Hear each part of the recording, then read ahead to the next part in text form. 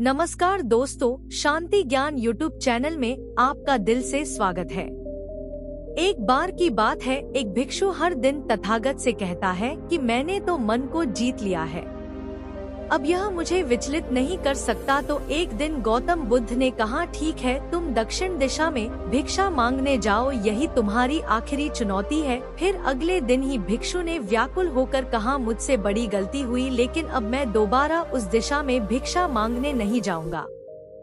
यह कहानी शुरू होती है जब एक बड़े प्रदेश का राजकुमार अपना राजमहल सब कुछ त्याग कर बौद्ध संघ में शामिल हुआ। शुरुआती दिनों में नए भिक्षु ध्यान करना सीखते। इसके साथ साथ गौतम बुद्ध उन्हें भिक्षा मांगने भेजते ताकि भिक्षुओं का अहम कमज़ोर हो और उनका व्यवहार विनम्र हो जाए। संघ में आने के कुछ समय पश्चात राजकुमार भी भिक्षा टन पर जाने लगा। शुरू शुरू में सब ठीक था, लेकिन कुछ ही दिनों में घटना घटी जिस कारण राजकुमार विचलित हो गया और उसने भिक्षा टन पर जाने से मना कर दिया। भिक्षा टन का नियम था कि भिक्षु केवल दो घरों में भिक्षा मांगते और नहीं मिलती तो आश्रम वापस आकर जल ग्रहण करते। एक बार राजकुमार भिक्षु नगर में भिक्षा मांगने निकला और दुस्सहयोग से भिक्षा नहीं मिली। शुरू में राजकुमार भिक्षु को निराशा हुई, लेकिन कुछ ही पलों में उसका मन शांत हो गया। जैसे कुछ हुआ ही ना हो, बिना प्रयास के आज भिक्षु बड़ा प्रसन्न था। उसने लौटकर गौतम बुद्ध से कहा, आज मुझे भिक्षा प्राप्त नहीं हुई, लेकिन मेरा मन शांत है, ना किसी विचार ने मुझे परेशान किया, गौतम बुद्ध भिक्षु की सारी भावनाएँ समझ रहे थे। तथागत ने कहा, अच्छी बात है, अब तुम कल महल की तरफ़ भिक्षा मांगने जाना। भिक्षु ने आज्ञा का पालन किया और अगले दिन भिक्षा मांगने निकल गया। कुछ देर बाद जब भिक्षु महल के आगे से गुजरा तो उसे अपना महल याद आ गया कि कैसे वह ऐशो आराम का जीवन जीता था। भिक्षु ने सोचा महल में खाने को स्वादिष्ट पकवान मिलते और सेवा करने को कई नौकर होते और सभी प्रकार के सुख मिलते, ऐसा सोचते सोचते भिक्षु के मन में इच्छा हुई कि आज बढ़िया भोजन मिल जाए, तभी भिक्षु सचेत हो गया कि यह सब अतीत की स्मृतियाँ हैं और मैं केवल इन्हें देख रहा हूँ पुरानी यादों के ताज़ा होने से मन में कुछ इच्छाएँ प्रकट हो रही हैं। यह भी मैं केवल देख रहा हूँ अगर मैं इन शारीरिक इच्छाओं को पूरी करने की लालसा रखूँ तो मैं मन की शांत और यह जागृत अवस्था खो दूँगा। भिक्षु ने महसूस किया कि जब जब हम स्वयं को दो कदम आगे ले जाते हैं, चेतना का स्तर ऊपर उठाते हैं, तब तब मन इस प्रकार के खेल खेलता है जब हम मन को शांत करने लगते हैं। तब मन हमें बेचैन करने की पूरी कोशिश करता है। भिक्षु यह सोचकर बहुत खुश हुआ क्योंकि आज उसने आत्मचिंतन से मन के बारे में गहरी समझ और सूक्ष्म दृष्टि प्राप्त कर ली। भिक्षु ने आश्रम आकर गौतम बुद्ध को सारी बात बताई और कहा, तथागत, आज मुझे आपकी कृपा से सूक्ष्म दृष्टि प्राप्त हुई। मन हमें बार बार इच्छाओं में उलझाना चाहता है। महल को देखकर मुझे भी पुराने सुखों का स्मरण हो आया, लेकिन आज भी विचार मुझे छू नहीं पाए। गौतम बुद्ध ने कहा, अच्छी बात है, कल नगर की दक्षिण दिशा में जाना, वहाँ एक हवेली है, वहाँ मन और विचारों पर उपदेश देकर आना। भिक्षु बहुत खुश हुआ, आज वो जल्दी जल्दी चल रहा था, क्योंकि वो उपदेश देने जा रहा था। पर दोस्तों, इस बार की यात्रा भिक्षु पर भारी पड़ने वाली थी। कुछ ही देर में भिक्षु हवेली पहुँचा और भिक्षा के लिए आवाज़ लगाई आवाज़ सुनकर एक सुंदर युवती बाहर आई। भिक्षु ने सोचा कि इस युवती की सुंदरता को देखकर मेरे मन में कोई विचार नहीं आना चाहिए, क्योंकि मेरा यहाँ आने का प्रयोजन तो इसको उपदेश देना है। युवती ने भिक्षु को प्रणाम किया और कहा, आइए पहले भोजन ग्रहण कीजिए। भिक्षु ने भोजन किया, फिर सोचा कि उपदेश देने से पहले थोड़ा आराम कर लेता तो अच्छा होता। भिक्षु यह सब सोच ही रहा था। इसी बीच युवती ने कहा, श्रीमान, आपने अभी अभी अन्य ग्रहण किया है, अब थोड़ा आराम कर लीजिए। फिर उपदेश शुरू करना, यह सुनते ही भिक्षु सतर्क हो गया, जो योजना वह मन में बना रहा था।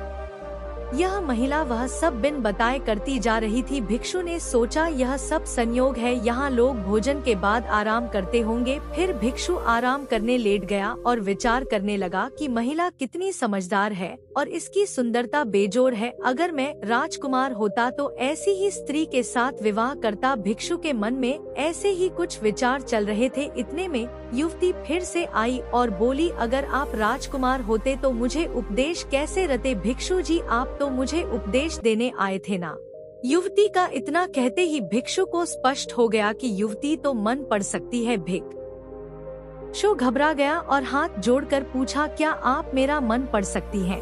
युवती ने कहा, क्षमा कीजिए, ध्यान करते करते मेरा मन शांत हो गया है इसलिए बड़ी आसानी से मुझे दूसरों के विचार अपने आप महसूस हो जाते हैं उनकी भावनाएँ समझ आ जाती हैं।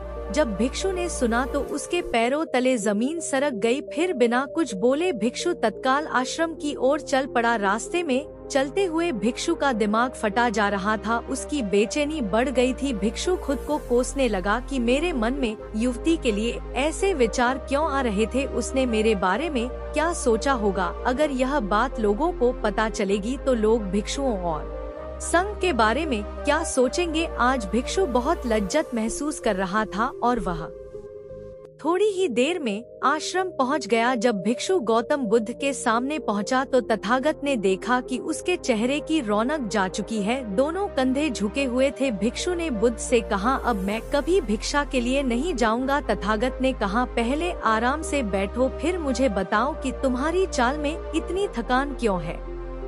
आज तुम्हारे चेहरे पर तेज की जगह गलानी की भावना क्यों है? भिक्षु ने सारी बात बताई और कहा, मैं सब कुछ जानते हुए भी महिला की सुंदरता के बारे में और अन्य चीज़ों के बारे में सोच रहा था। मैं मन से पूरी तरह हार गया। अब मैं कभी उस दिशा में नहीं जा पाऊँगा। मैंने बौद्ध संघ का भारी अपमान किया है।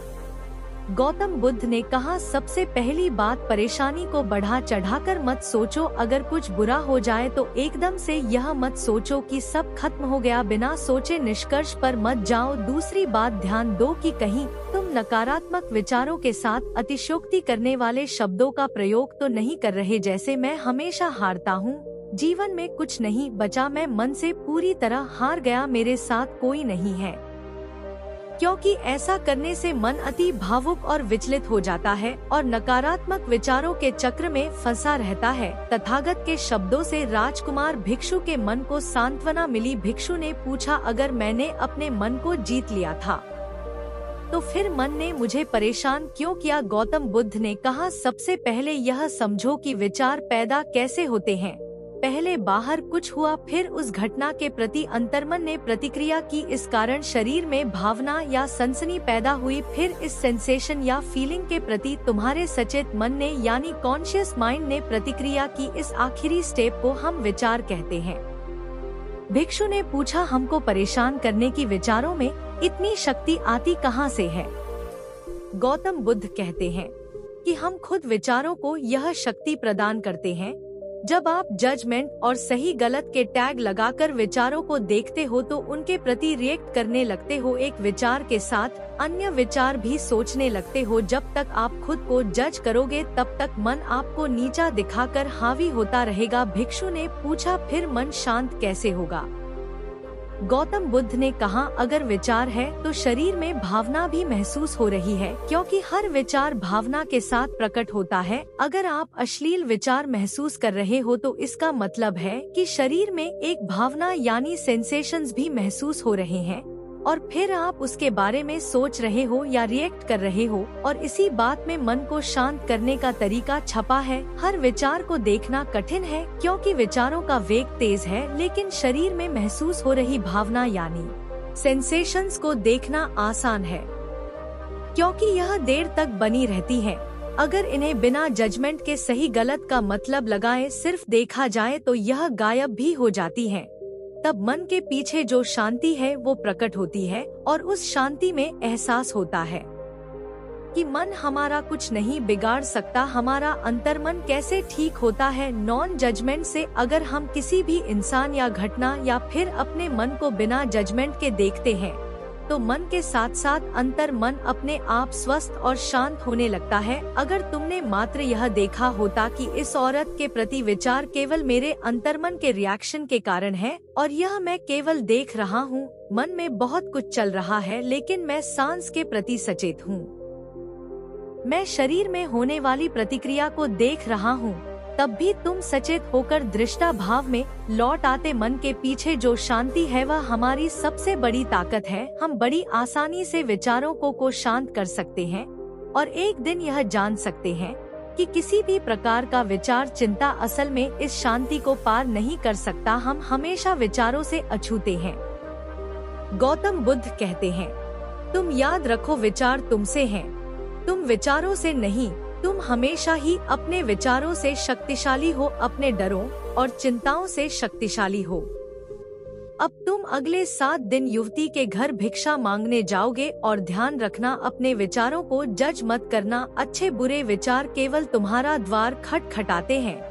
तुम केवल इतना याद रखना कि तुम वह शांति हो जिसमें सब प्रकट हो रहा है। अगले दिन भिक्षु पूरे मार्ग जागृत होकर चला महिला के घर जाने से पहले थोड़ी घबराहट हुई, लेकिन भिक्षु दृष्टा भाव में बना रहा, विचारों को शरीर में उठ रही, भावनाओं को, डरों को, गिल्ट को, सबको बस देखता रहा जब वापस लौटा तो।